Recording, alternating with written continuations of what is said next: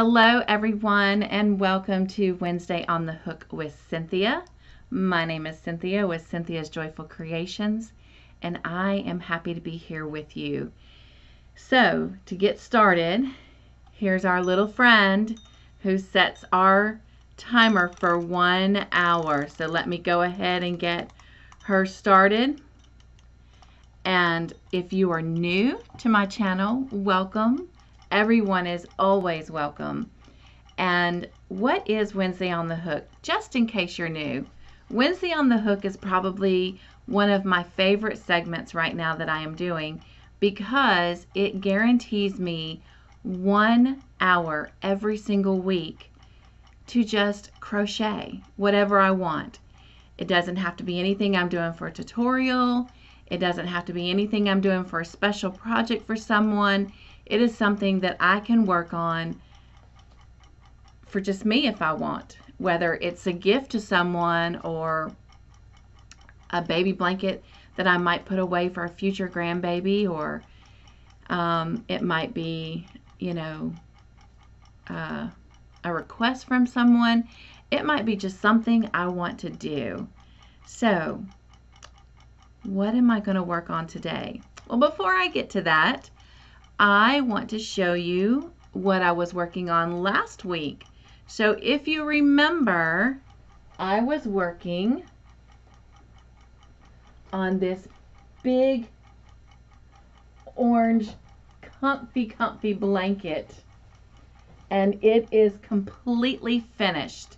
It ended up being a little bit bigger than I wanted, or excuse me, a little bit bigger than I thought it would be. I love how big it is. So this is perfect for snuggling up on the couch in the living room and just hanging out with Mr. Joyful and uh, cuddling up under. It's big enough for both of us to sit on one end of the couch and have it go between us. I have some pictures that I'm going to pop up here in just a minute to show you how it looks across the back of my couch and Mr. Joyful and I spread it out on our bed just to give you an indication about how big it actually is.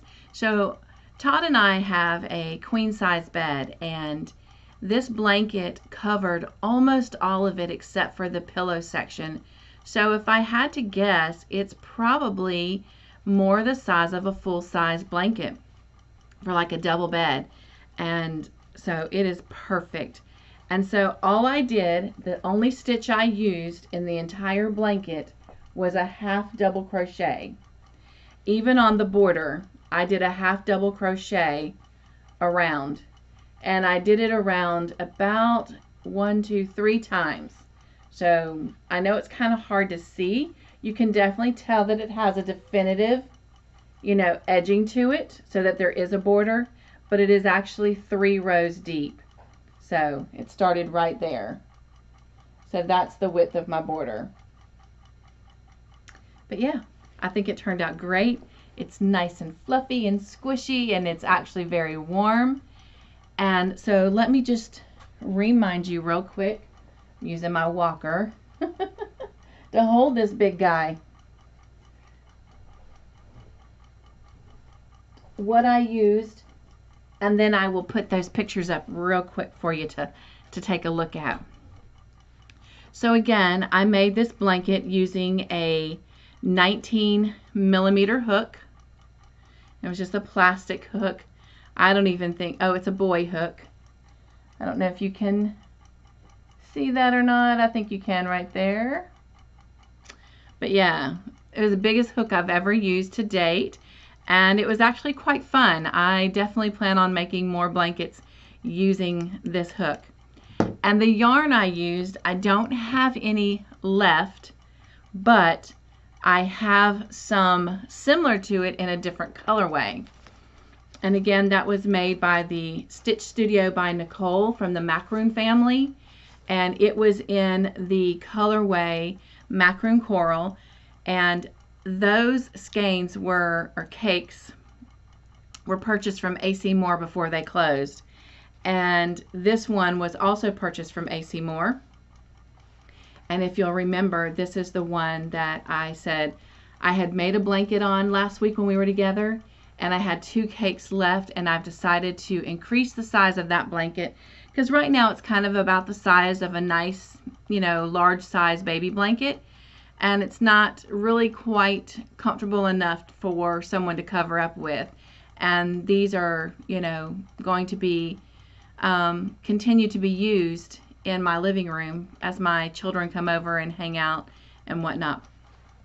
But before I get into that, I wanted to tell you that when I did this blanket here, the coral macaroon, I had just a little bit of yarn left over when I finished. And so what's one to do with scraps? Do I save my scraps? Well, yes, I save my scraps. And um, that was Mackenzie saying hello, shaking her collar. um, which all of you should know who Mackenzie is by now, my grand dog for my son who's a Marine. Um, if you don't, then there's a special segment under my Joyful Life series on Thursdays, and Sadie and Mackenzie were in that. And real quick on that excerpt, real quick, yes, I have learned that there was a portion of the video on Sadie Mackenzie and introducing my wonderful um, beloved cat Callie and my grand dog Falcor that did not show up. So I do plan on redoing that video uh, for you to have in its entirety, but I am waiting till after Friday um, because there's something special about that video. And so after Friday, I will put up a brand new one. Okay. So I had a little bit of scrap yarn left over. What do you do with it? Well, I usually save my scrap yarn and I use it, you know, somewhere in another project. But I had enough left over that I thought, hmm, I'm just going to try and make something with it because there was something I kind of wanted and needed. And um, I thought, well, why not? So I made, it's a small one, but I made a little dust mitt.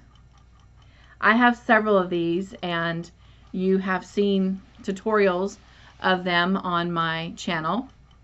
I've done one that's striped, it's blue and it's striped and it's rather large and it has fringe. Oh, tons of fringe coming off of it. Um, that was a fun project. A tedious project, but a fun project. But I have dust mitts um, in my car. The one in my car is a little bit narrower and a lot longer, and it's a lot looser um, of a stitch and so it's real fluffy and and you know uh, moves very freely and so I have that in my car to keep my dashboard and stuff dusted down I have a nice size one that's uh, kind of peach and yellow and white in my living room along with that blue one with the fringe that I made and I just use that to dust throughout the house um, and then this one I have done, and I did it also in a half double crochet stitch because I wanted the stitches to be kind of close together and tight. And this one I am going to use on my laptop screen. So to help keep the dust off of that, the pollen that comes in through the open windows when we choose to do that. So I was able to put the rest of the scraps to good use. Now, in completing this, this is all I had left over. So I think I did pretty good. But I will hang on to this one little piece and put it in my special little scrap box because you never know, that might make a perfect nose for a amigurumi or a snowman. So yeah, we're to keep it and utilize it. So that finished up that project and I'm going to take a minute and I'm going to pop these pictures up for you that I promised and then I'm going to show you one more completed project.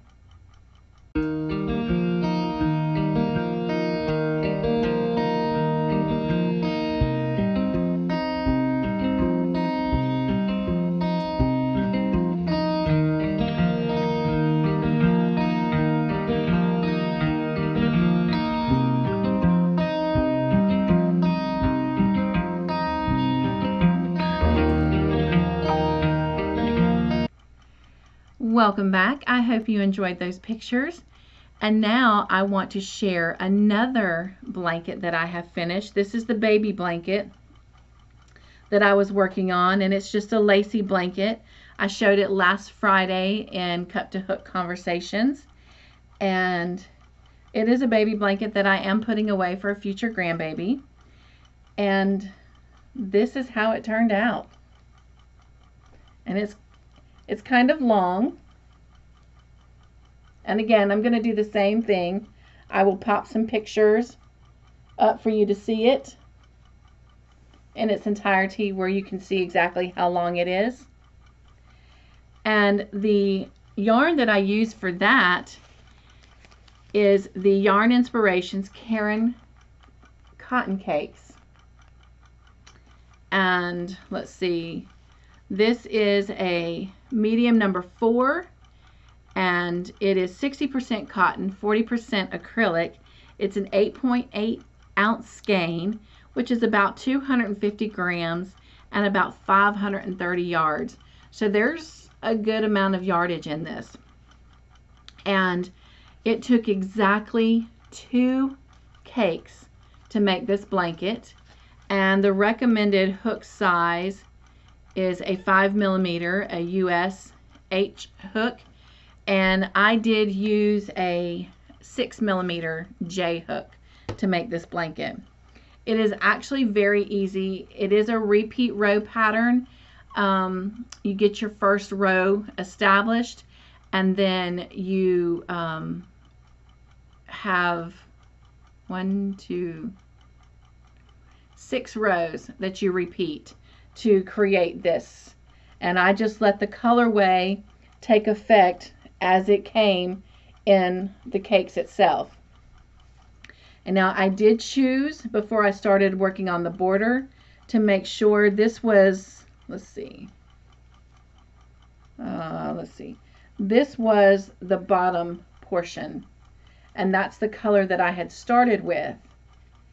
So when I went to finish up, I went ahead and made sure that the top portion ended in that same color and then I put the border on. And the border is nothing more than just I did a single crochet stitch all the way around the blanket and then I came back and I just did chains to kind of create even more of a lacy look to it. So it really blended in very well together but yet you know you can tell that it has that definitive border look to it. So yeah I'm very, very pleased with it. And I love the way that it drapes. So it'll be great for covering baby up, especially in the spring or the summertime. But, and how much yarn did I have left over from that? This is the container that I use to hold my cakes. And this is what I had left over. So not a lot. Again, I will hang on to this little bit of scrap to put in another project or if I run out of something, maybe it can help me finish something up. So it definitely will be used for something in the future. Okay, well I hope that you have already begun crocheting, I am going to take my finished objects and put them to the side so that I can start.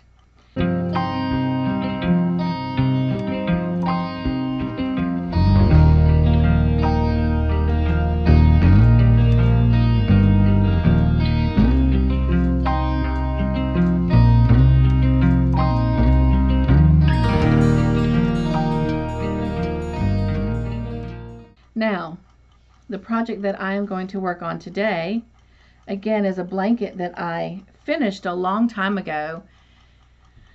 Uh, January would have been a year, so I finished it a little over a year ago. In fact, I worked on it and I started it and worked on it and finished it up during the time that we were at my middle son's Marine graduation from boot camp. And uh, at the time, the color was kind of a little appropriate, even though these are not Marine colors, more maybe Army colors, but nonetheless, I was trying to finally utilize that yarn and see what it felt like because I had never created anything with a bulky yarn like that. So before I get started, you know me, I always like to lotion my hands and keep my my best tools moisturized. So I'm going to do that. And I'm going to show you the blanket that I'm working on that I had already made. And then I'm going to add these two skeins to it. I know that I won't complete that during our time today, but I'm going to get it started. And if I don't have an opportunity to work on it between now and our time next week, well, then I'll just bring it back and hopefully finish it up with you guys next week. All right. So I've got that nice and rubbed in. And now with this other blanket, like I said, I used a 19 millimeter hook. When I did this one, because again, it was the first time I had worked with this yarn, I chose to use a J hook. That's my like my go-to hook.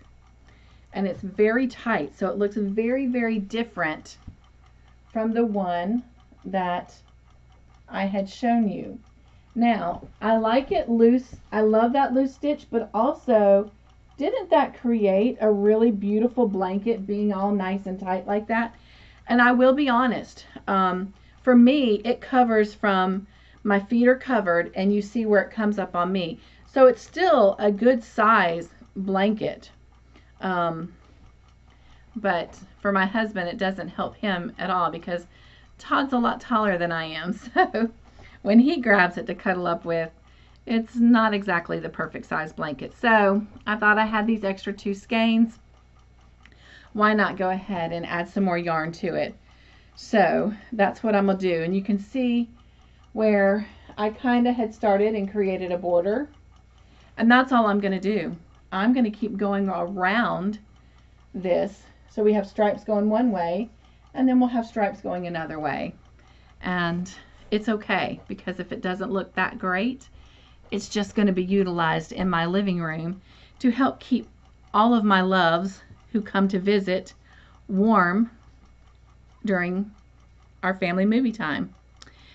So what size hook am I going to use? Again, I had used a J hook to do this, but because I'm going to be adding this and continuing on the border, I've decided to increase the hook a little bit. I'm not going to go as large as the 19 millimeter, but I am going to go to an 8 millimeter, which is an L hook. So that's what I am going to do. And this color, by the way, is called Macaroon Fern. And again, it's a bulky five, and I don't think I told you, it's 100% polyester. It's approximately 258 yards in here, uh, which is equivalent to about 300 grams, and it's a 10.5 ounce skein. So there is a good bit of yarn in here. And we're just going to get that pulled out, and we're going to get started and after I get it started, I'm going to kind of clear my table off here. All my goodies I had to show you. And real quick, I know that I will not get it all finished today, and that's okay. So I'm going to show you the stitch marker, and I could have done this at the end, but I'm going to show you the stitch marker that I'm going to use and it actually matches the, the little stone matches the blanket. I don't want to show you real quick what it says. Let's see how that matches. yeah, sometimes I like to color coordinate my stitch markers to my blankets. And normally I always use two stitch markers on a blanket. Normally when I'm starting out a project, I will put one at the base on the right side so I always know what the right side of the project is and then I use one to keep my stitches in place while I'm not working. And this particular stitch marker it's a pair um, the other one was brown but look what it says. Let's see. If I can get it to turn around. Earlier it wanted to do it and I didn't want to show it. Now I want to show it and it doesn't want to do it. Okay this too shall pass is what it says. And I may have to zoom in here a little bit and I can do that. There we go. Yep, this too shall pass. And this wonderful, beautiful stitch marker was designed by Rose Likes Crochet and I will include in the description box a link to her channel. But it was given to me by Bree from Bree's Little Crochet Corner. And so yep. And if you're new to my channel I've recently had back surgery and I am still recovering from that. I had the first one on February uh, 2nd and the second one on February 4th. I was only supposed to have one. And in the second one, I lost mobility of my leg, so I'm still trying to get that back as well. And so that was a nice little gift from Bree, just a little bit of encouragement and reassurance that this too shall pass, and it will. So I'm going to get this blanket started. I plan on I'm trying to remember uh, what I did. I think I did double crochets on this one. I did. So to make it even a little bit more distinctive, I am going to try and just do half double crochets on it and see where that takes me. Again, it's so weird because after using that nice big hook on this bulky yarn and I just flew through it it's going to be interesting to see how it is to work with this smaller hook with this yarn, but it's happening. It's just going to be a slower process, and that's okay.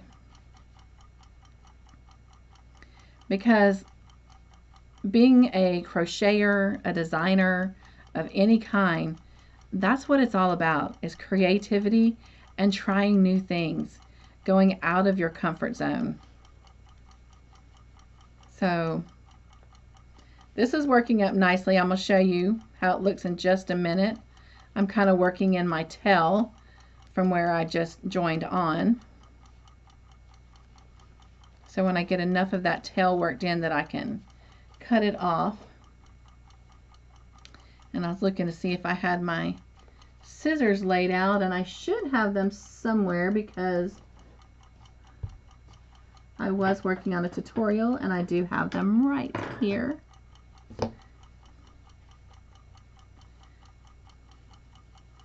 But it's nice to see using the same yarn how different a project turns out using that bigger hook that's more, you know, a, a hook that's recommended or larger than versus a hook that is way smaller than the recommended.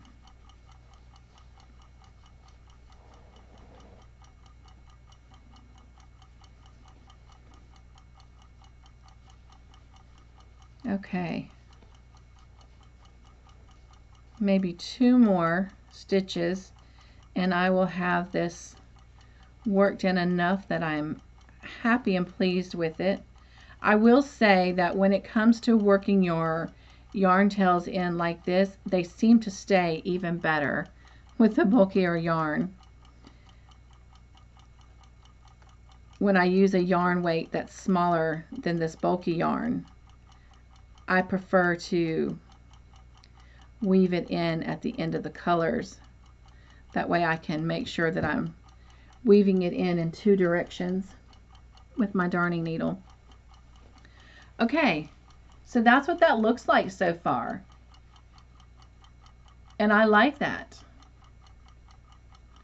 I can tell though already with the height of this stitch that if I do put these two skeins around it, it is going to increase the height of this blanket and the length of it rather quickly, even with this smaller hook. And that's okay. That's cool. So what are you working on? What is your project of choice for this hour? And I realize your your one free hour of crocheting may not actually be on Wednesday like it is for me, but whenever you get that chance, it's just a nice reward to yourself because we tend to live with busy schedules and for some of us with COVID, we may have more time on our hands than an hour and can crochet more than that. But I know that during my normal regular schedule, finding an hour between all of my videos and my job at the hospital, I don't always have time for myself to do what I want. And that's been one of the, the good things about this recovery. Although I have to say, in the beginning, I was doing good to crochet anything, but if I had a good day, I didn't necessarily still feel like doing it and even if I was doing good and the pain was a little bit there, I didn't always feel like doing it because just the pain of, a, uh, you know, the weight of a project on my lap would upset my leg at times. But I'm getting a little bit better and a little bit stronger. And so, yeah, I'm able to get things done. Um, it took me, in the end, just because I was working on other things, it took me a week and a half to make that orange blanket and it took me about four and a half days to make that lacy blanket. That lacy blanket worked up really, really quickly. Um, so again, I will put in the description box a link to the tutorial that inspired me to make that blanket and I did follow her tutorial for the body of the blanket. She did not have anything on there to add a border to the blanket, although you can clearly see on her blankets that she's added some kind of border to it. So I decided to just do chains to kind of keep it in that lacy effect, even going around the sides and I don't know maybe a continuous single crochet stitch with maybe a double crochet and then ending with a single crochet might have been a nice little you know border for that blanket but I chose to just keep it kind of lacy all the way around. Again to keep it kind of that spring summery. So you know when the baby needs a little bit of some covering but not too much because it's it's warm outside. And by keeping it completely lacy it also makes it a nice little blanket to use with the baby if you're going to church or somewhere as a special occasion. Although it wasn't designed for like a special occasion it's more designed for an everyday type of blanket. But I am working on another baby blanket on our Yarn Joy Adventures, and it is not near as big as I normally like for a baby blanket, but it is still a success because it will be the perfect size for using when the baby's in the car seat or in a swing. So it worked out perfect. I chained the normal chains that I normally do for a baby blanket in concordance with the multiples that are required for that pattern, but the way the pattern works out, the blanket is a little bit smaller, like I said, than I would normally prefer for a baby blanket, but it worked out perfect and has now given me the idea that some of my baby blankets don't need to be as big as I normally do them because they would be perfect for using in a car seat or in a baby swing. Okay. So, real quick before we go into our question, Today is Wednesday, April the 14th. I do hope that everyone is having a great day. Today is a very special day for Mr. Todd and I, or Mr. Joyful, as some of you like to call him. But today is our anniversary. And so, yes, he surprised me last night. And unfortunately, you know, I can't drive yet. That's been one of the hardest things because I'm always in the car. And uh, I haven't driven since the end of January. In fact, the last time I came home from work in the middle of the night because I just couldn't make it anymore, that was the last night that I drove, and that was January 26th or 27th, whichever one of those days was a Tuesday. And so, uh, I well, I went into work on Tuesday night, and I came home during the wee hours of Wednesday morning, technically. So, I guess suppose both of them would be correct. But anyway, he surprised me with a beautiful card and these socks and it they have like this fuzzy inside layer to them so they're very very soft and warm because my temp my body temperature is regulated by my feet so if my feet are cold I'm cold if my feet are hot I'm hot and more times than not, I'm always cold. So he got me these slippers, or these socks, really. And oh my gosh, they are warm. And I did not bring them to show.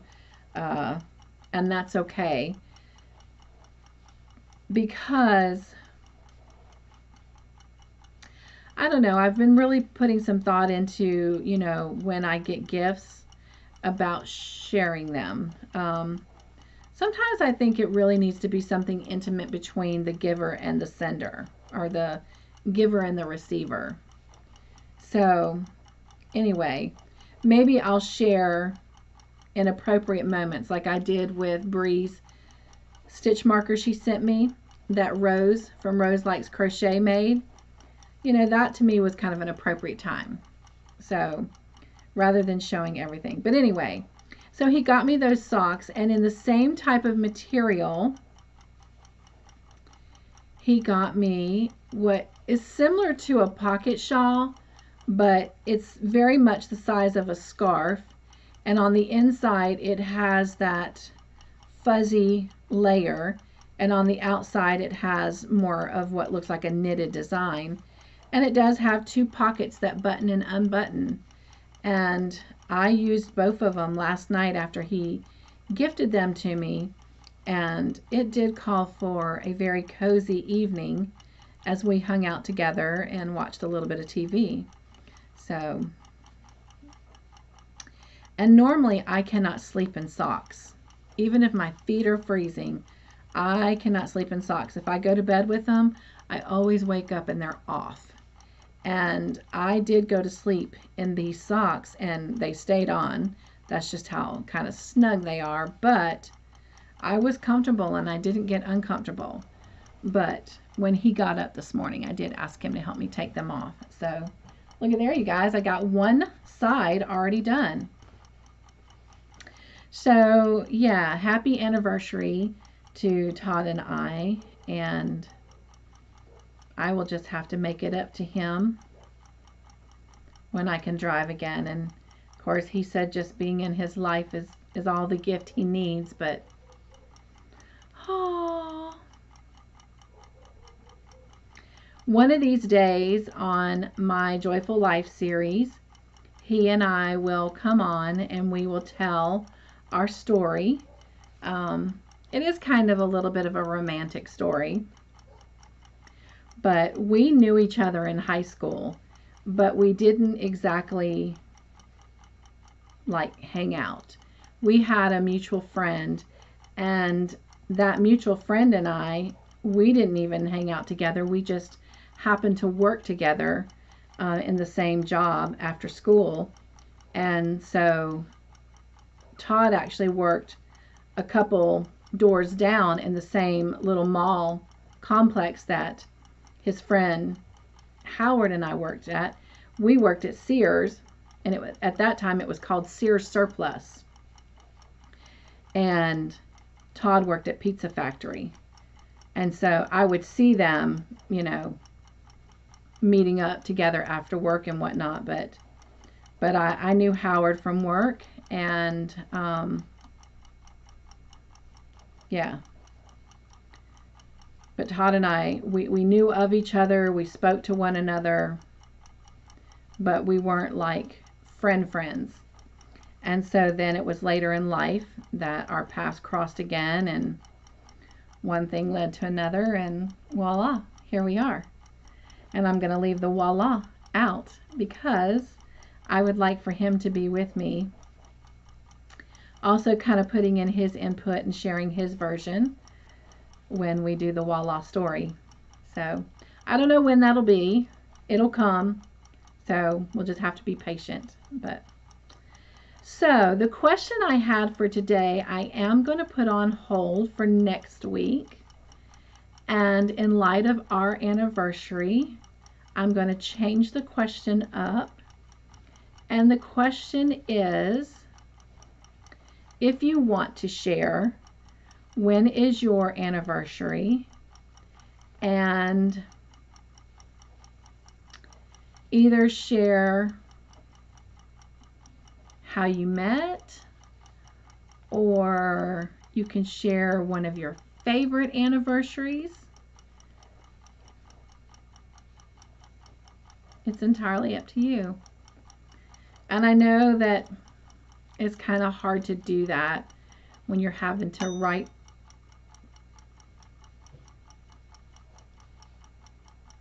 Our ladybug acted like she had something to say, but I know our time can't be up. Oh no. We still have at least another good 30 minutes or so. Um, I know it's hard to write it in, and I would love, love, love for this segment to be live, but until I go back to work, it could be. But then I don't know about you, but I would get dependent on it being live, and then it would be so disappointing to have to go back to a recorded video.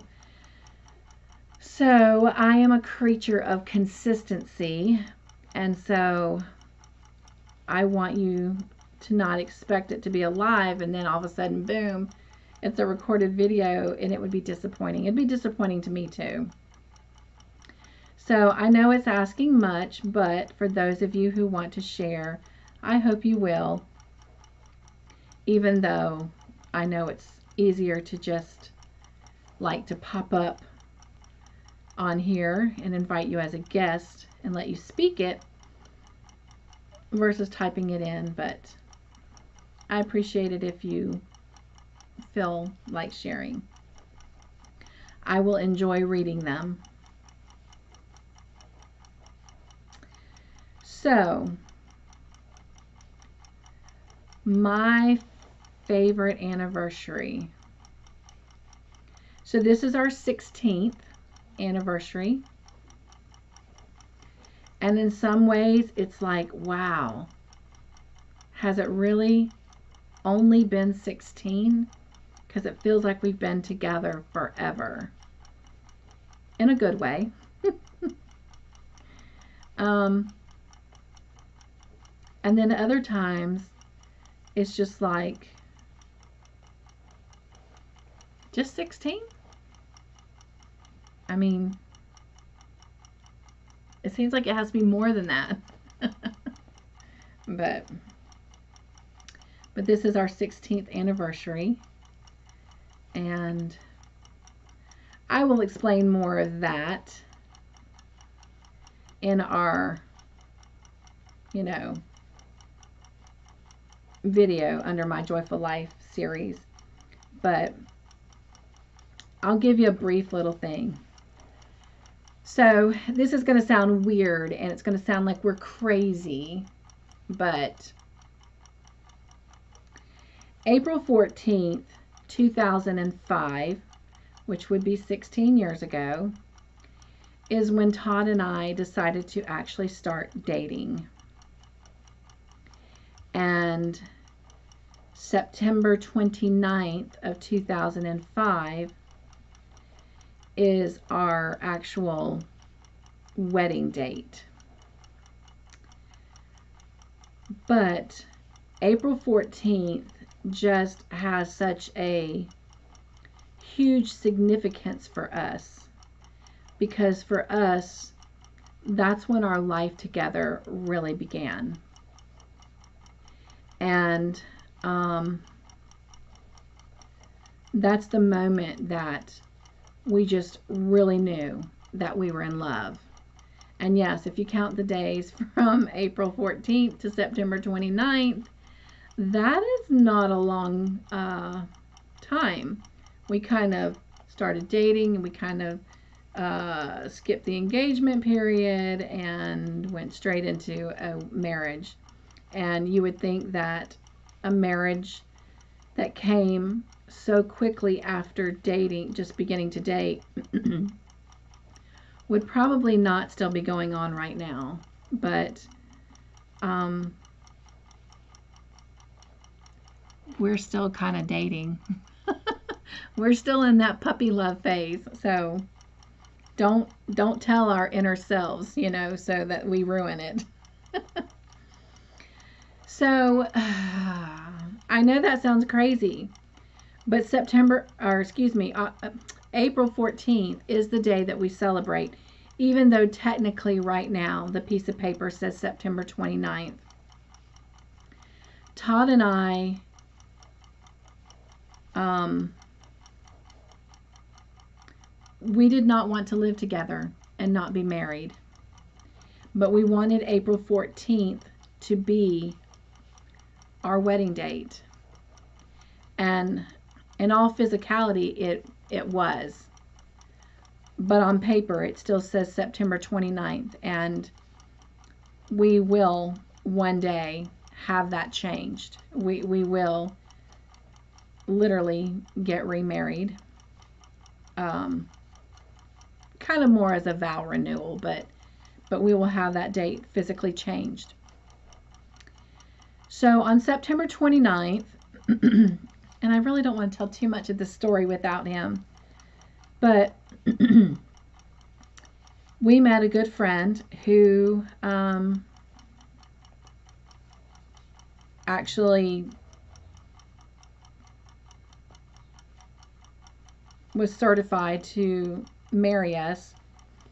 And their families were all meeting at Sears to get pictures done.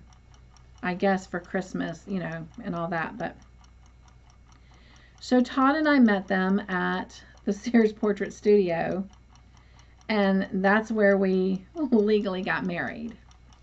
And that was okay because we were already in the planning stages of planning a big April 14th wedding for 2006. And I mean, we had almost everything done. Uh, I think the only things that weren't done at that point in time were like last minute things and, you know, the cake and all that. But everything else was done. Church reserved, you know, my wedding dress was purchased. His tuxedo was purchased.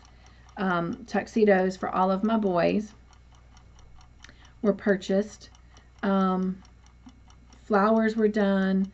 Bridesmaids' dresses were ready, which we weren't having too many.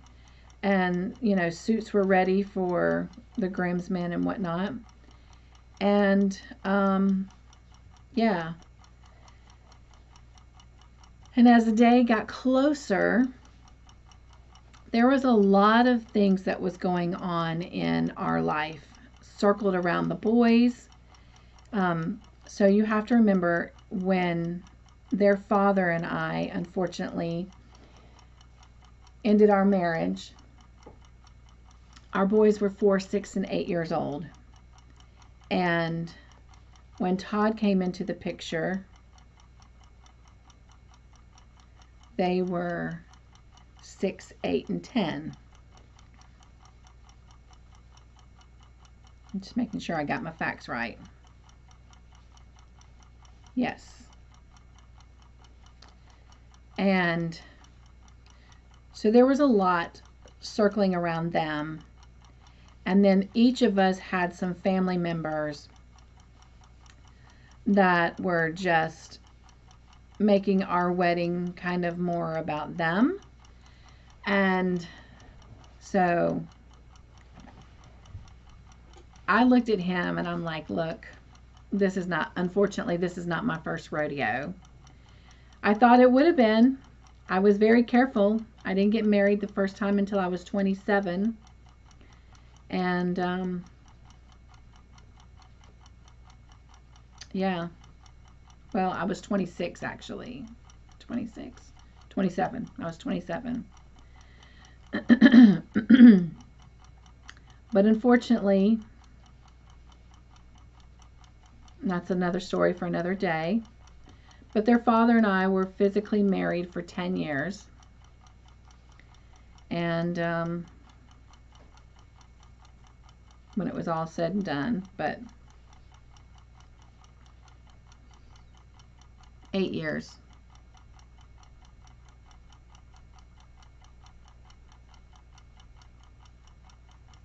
Eight years.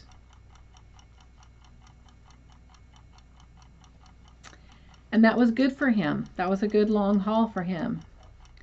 But anyway, so Todd and I got to talking, and I said, Look, I've done this before. And I had a beautiful day. So this is all about us, but it's more about you because I'm hoping that this is the only time you'll ever get married. And because of, you know, things with the boys and these these family members that were making it about them. And and at that time, Todd was kind of more a very quiet individual. He has blossomed from there. Everybody knows him as a jokester and he makes you laugh. But um but he was still very kind of shy and quiet then. And so he decided that he would rather take everything back to the stores and turn in and you know if we lost deposits great but we got all of our deposits back on everything. So that was a sign that this was good. And we took everything back to the store except for the boys tuxes or suits and Todd's suit and my dress. And then the flowers you know we already had made for the boys and for Todd and my bouquet. My mom helped me with those. But anyway, everything else, it got returned. And we took that money and we decided that we would rent a cabin somewhere for a week and we would spend a week for our honeymoon. And so we both love magnolia trees. So we happened to find this park in Georgia. And for those of you who are Georgia fans, are from Georgia, it was General Coffee State Park. And so we um, were going to spend our first night in Savannah, Georgia, because I wanted to show him around Savannah since I was a missionary there. And then after that, we would move on to this cabin in Georgia and we would stay uh, there for the rest of the week. And so it was all worked out and all good to go. And it was going to be just him and I, and we were actually going to do a wedding ceremony and videotape it um, of just the two of us. And that happened. But as it turned out, two days before we were to leave, the boy's father stated that he was not going to get them for, from, for spring break. And things are a lot different and a lot better now. but back then, who knows if it was done out of spite or whatnot. But for whatever reasons he had, and for whatever reasons he was not going to get them, that meant now that the boys were going on our wedding slash honeymoon trip with us. And it actually turned out to be a huge, huge blessing in disguise because it allowed the boys, they already loved Todd, you know. Um, when he and Howard would come around before they even knew we were dating um, and help out with things around the yard that I could not do or was attempting to do and looked really foolish doing it, like trying to chop down a tree that had halfway fallen over my driveway with an axe, was quite hilarious. And when they were finished, um, because Howard was more my friend at the time, but uh, he would, you know, he and I would carry on a conversation, and Todd would chase the boys around the yard, and he would jump up in the trampoline with them, and it just was so tender. But anyway, so they were fond of him, but that week gave them an opportunity to really bond. And so that was very sweet and very precious, and a time that neither one of us will take for granted. And it, it actually changed the course of some of the things that Todd and I ended up doing that week that we would have not ever had that were just wrapped full of blessings. And for example, um, we ended up, because the boys ended up being with us, we ended up buying a slip and slide to put outside the cabin. And we all ended up having so much fun on that slip and slide.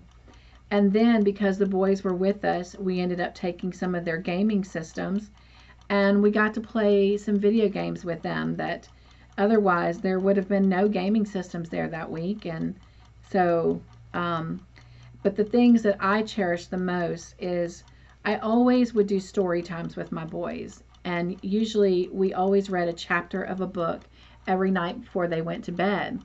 And so with them being with us that was going to be no different. But instead of doing it before we went to bed we um, started doing it. We would go on these little nature hikes.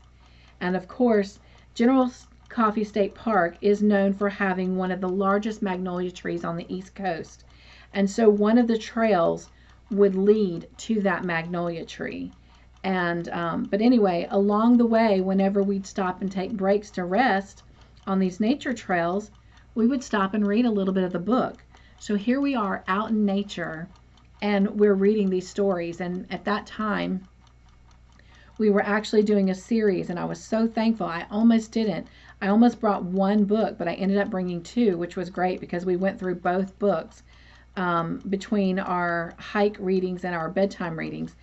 But the boys were so into dragons, and so the story was, you know, of course, you know, a fiction story, but it was based on dragons, and it was really cool to be out in nature and then reading those stories and those are just memories and and times that we had that we would not have had had the boys not come and then I'll never forget the night that we actually did our wedding, which was on April 14th. That's right, we went during the week of April 14th. And um, I can't remember. It was like in the early part of the week. Um, it was like a Tuesday or a Wednesday. But we had our wedding out by this pond that was in the park and um, actually just across from our cabin, not too far. But we had other people that were there, and they stopped and they watched us get married, and um, it was it was really cool. There was a bridge, so when I came to join Todd, I walked across the bridge, and the boys walked with me. So in a way, like they were giving me away. Although they kind of um, were misbehaving that day, so uh, it was not as perfect as it could have been.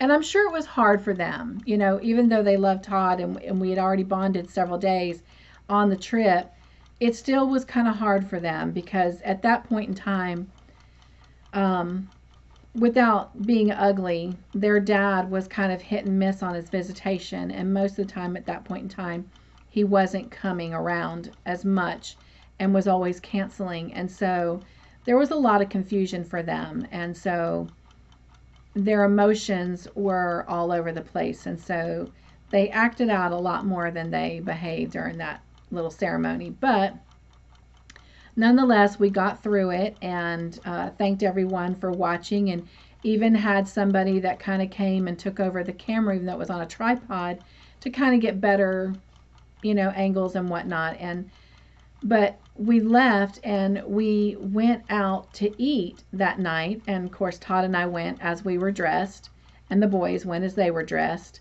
And um,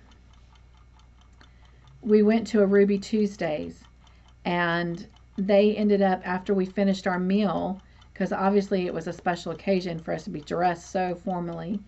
But, um, and my dress wasn't exactly white, it was like a pale pink and um, but still. And um, I had on these silk gloves that went all the way up the arms and I had on a little tiara. And so when they asked us what the occasion was and we told them that we'd just gotten married and joined our family they brought us this humongous I mean humongous goblet full of ice cream. It was a it was an ice cream sundae, like a banana split type thing. It was huge. Even after the five of us dug into that, we still left a good bit of it. That's how big it was. And um, and it was a lot of fun, you know. And so those are moments that I, I will cherish forever. But Oh my gosh, you guys. One more side and I've completed one round. so, leading into anniversaries, because that was not an anniversary, that was more like a honeymoon. Um,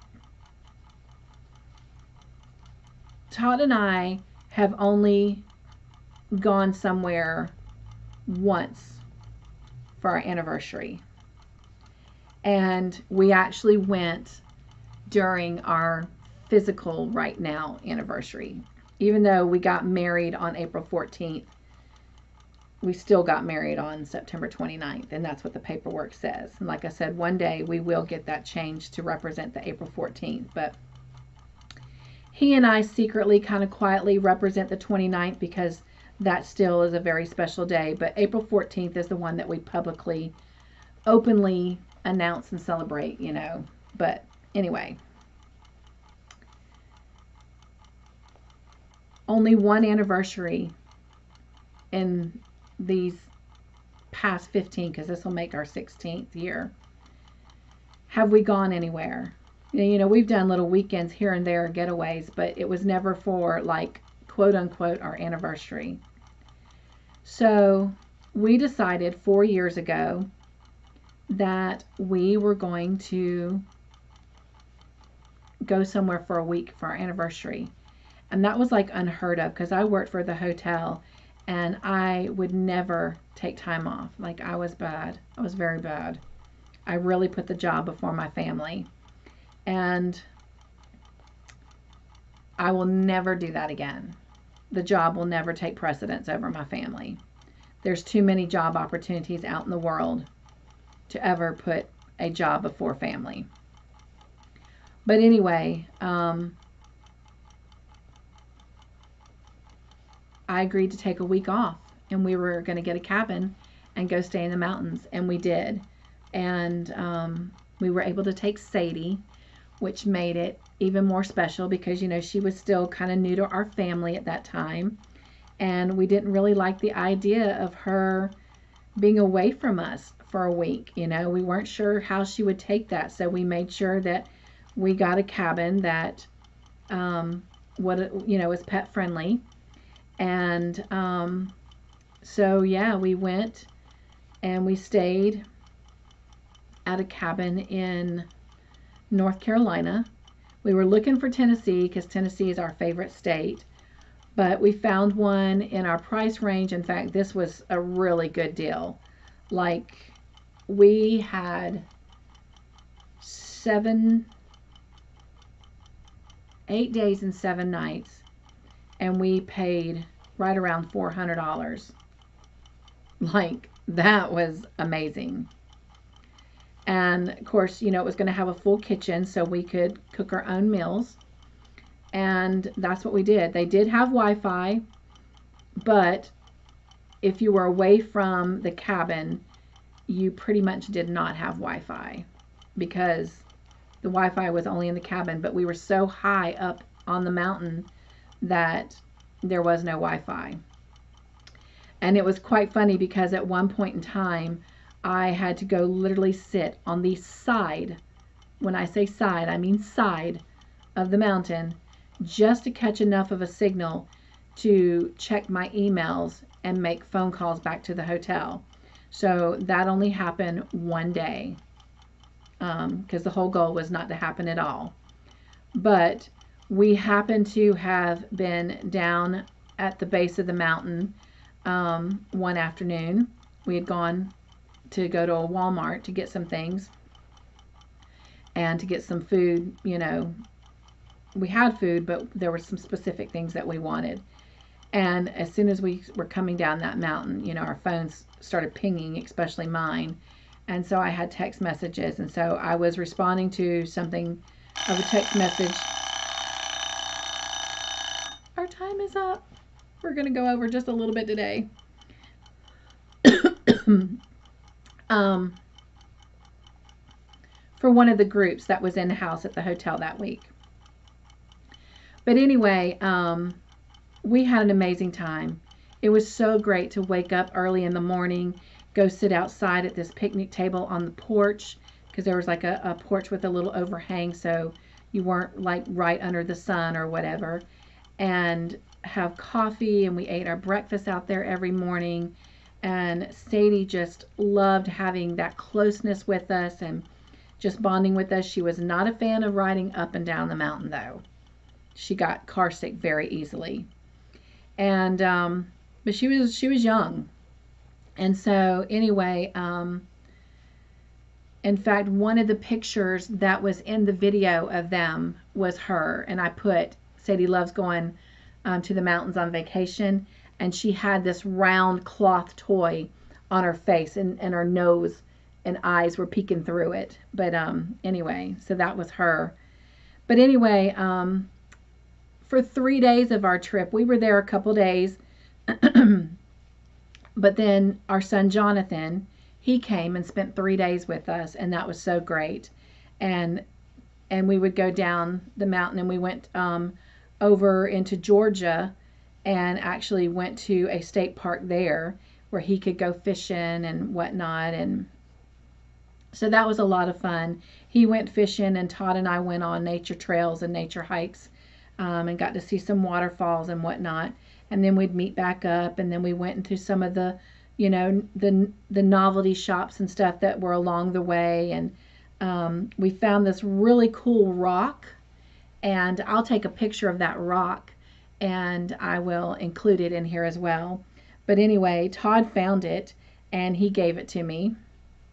And so, anyway, uh, yeah, we just enjoyed that. And that's the only trip that we have ever done to celebrate our anniversary. And so we're well overdue for another one. But um, the odd thing about that, though, is because we had no cell signal, no one could get in touch with us. And so um, now when we were at the cabin, they could, but it just so happens that a lot of times when they'd call, we wouldn't be at the cabin. And um, and even though when we were back, for some reason, I guess the signal wasn't strong enough, but we weren't getting text messages. So the day we actually left and we we're coming down the mountain, and our phones are pinging like crazy, um, people were worried about us. And people who didn't know that we had gone on that trip, now like our immediate families and stuff knew, the boys all knew. But anyway, um, Todd's brother that lives with us, he knew. But South Carolina was under water, it had flooded. And so we were having to call and reassure so many people that we were okay but then trying to find out what was going on. And then it turns out that Jonathan had been in Columbia with some friends and some of his church friends, and they literally were stranded. And so my boss was able to um, help them get to one of his properties in Blythewood, South Carolina, and allow them, you know, at a, um, you know, kind of friends and family rate, stay at the hotel until they were able to actually make it back home. So they were only like, you know, 20 to 30 minutes from us, but there was so much water in between them and us from dry land to dry land that they couldn't come home right away.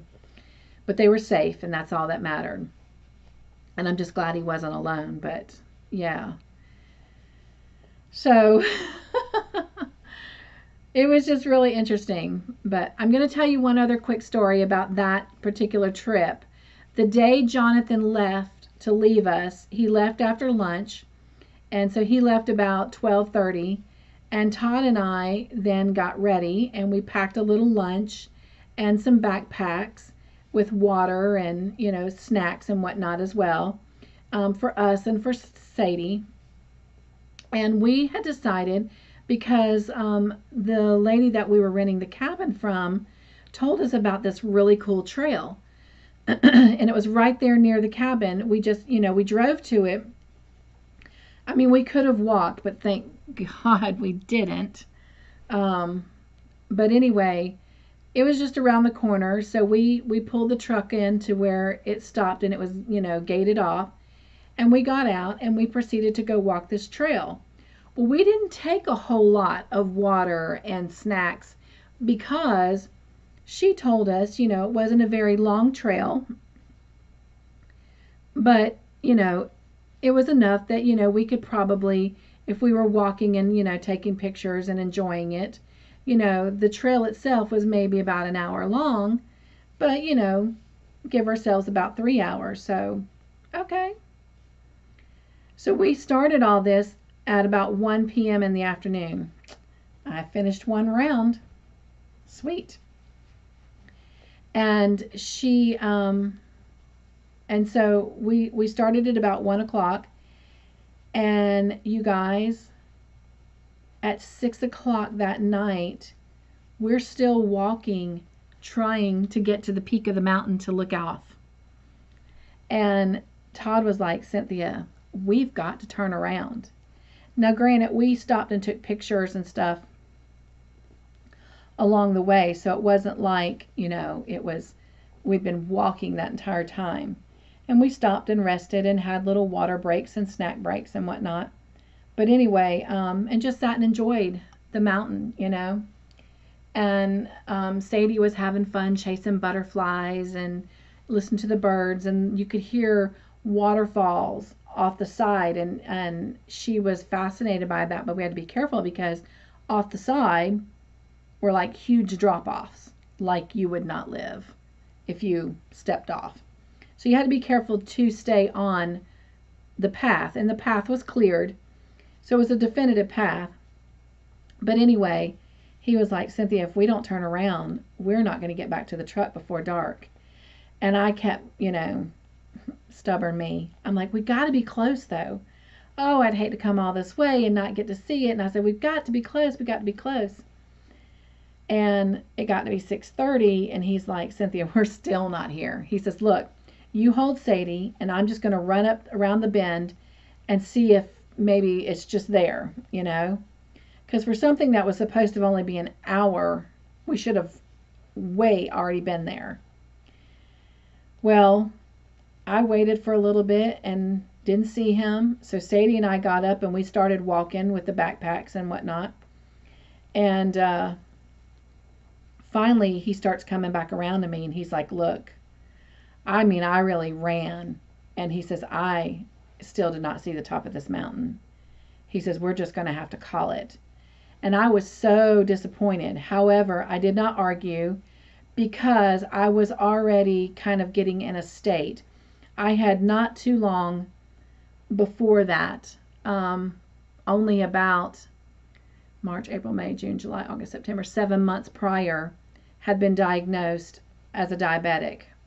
And so my legs were swelling, my feet were swelling, and I, I knew I needed like real food and whatnot. And I was overdue for my medicines and my shot and all that. So it was like it was time to give up and go. So we turned around and oh my gosh, when it fell dark, it fell dark quick and it was really dark because a lot of times on the path, the trees hung over the path. So we didn't come prepared with flashlights and stuff because for an hour at one in the afternoon, we were going to be way back before dark at eight. Hmm. thank God we had our phones and thank goodness there was no cell signal so that, you know, we weren't on them using them up because we would have never made it back without using the flashlights on our phones. And we only use one phone at a time. And of course, you know, having to be careful with Sadie that she didn't run off the side of the ledge, you know, with us holding onto her leash. But anyway, it was it was hard. And then it got to a point that my legs were so swollen that I was struggling to walk. So he ended up having we had to stop and he found a branch and he whittled it down on the end to make it into like a walking stick and whatnot. And you guys, it was at one point I just, I, I really did not think I was going to make it off that mountain. I thought, well, it's a good thing we had a good run for a marriage because it's about to come to an end. I'm about to make my husband a widow. Like it was that, it was that bad. And, um, and again, he was so great. You know, he just kept encouraging me. You know, I'm sure it's just a little bit further. And of course, we'd get that little bit further and we'd come around another bend and there would be no truck and it was just like you know i just I, I, just cannot do this and finally i remember just breaking down and crying. And i told him i said look you you need to just go on and leave me. And of course he was not going to do that. And i knew there was no way he could carry me and keep up with sadie and and i wasn't going to let him try to carry me on his back even. And so we would just stop and take rest you know, and um, anyway, I remember one time just saying, Lord, please, please just get us back to the cabin. And uh, you guys, I got up and I started walking, and we came around the bend, and there was the truck. And it was everything I could do even though the truck was in sight to get to that truck.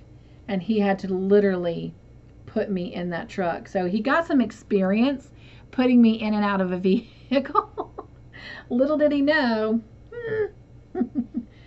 but we got back to the cabin and my legs were so swollen, my feet were so swollen that I could not even bend them. But he got me in and um, you know, he got ice packs and everything else. And luckily, I woke up the next morning and a lot of the swelling was gone, but the, the tenderness, the soreness was there. So we spent that day inside. Um, I mean, like at the cabin. We didn't go hiking, we didn't go out anywhere else. And we just kind of hibernated and watched movies and whatnot. And um, yeah, it was cool. The the lady we rented the cabin from, she had movies there. We had brought movies. So we were set. And uh, we had a really good day. But but that's the only anniversary trip we've been on since then. Um, well, I just told a fib. We've only had one other one. We did have one other one. It was two years after that. We went for um, three days and two nights. We went to um, a little place here in South Carolina, uh, Beaufort. and all I'm going to tell you about that one is uh, we got there and we had not been there long, and we found out that uh, there was a possible hurricane on its way. And sure enough, it came through. We lost power. So the entire weekend we were there, we had no power in the hotel room. We didn't go anywhere. We had planned to go to Edisto Beach and we'd planned to go to Savannah and out to Tybee Island, but you know, yeah, none of that happened. Um, we just stayed at the hotel. And um, I mean, we had our tablets and, and we had uh, backup chargers for all of our devices, but um, other than that, I mean, every now and then there was a generator that was running and in the lobby area, and uh, we could go down there and charge things up. And we usually did it when we went for meals. Meals were an adventure because they didn't really have power to cook cook anything. So, um, but it was fun, and we bonded with other people because of the circumstances that we were in, and it really ended up being a really nice time. But uh, and I do remember that my girlfriend who made that sign behind me right there that says Cynthia's Craft Room. She's also a baker and she made us these cake pops and oh and chocolate covered strawberries. And oh they're to die for. But anyway so we have that but okay so those are the only two trips we went on but by far the one week in the cabin in the mountains was our favorite. So yeah. So we've gone over a little bit and i do apologize for that but uh, i hope you've enjoyed this segment nonetheless. Hope you have sat and crocheted uh, for this hour and enjoyed yourself. I have completed one whole round um, on my blanket with you. I've got a little bit of a knot right here where they rejoin the yarn that I've got to fix. But um, I've gone from the gray over into this. It looks like it's a white, but it's not. It's actually a very pale mint green. And see, even in there, it looks white, but it's not. It's a very pale mint green. But anyway, um, yeah, I appreciate you joining me. I'm going to fasten off my work with Bree's gift to me that this too shall pass.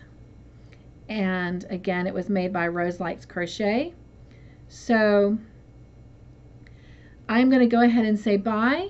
And I'm going to include a picture, as promised, of that rock that we found on our little journey during our week in the mountains.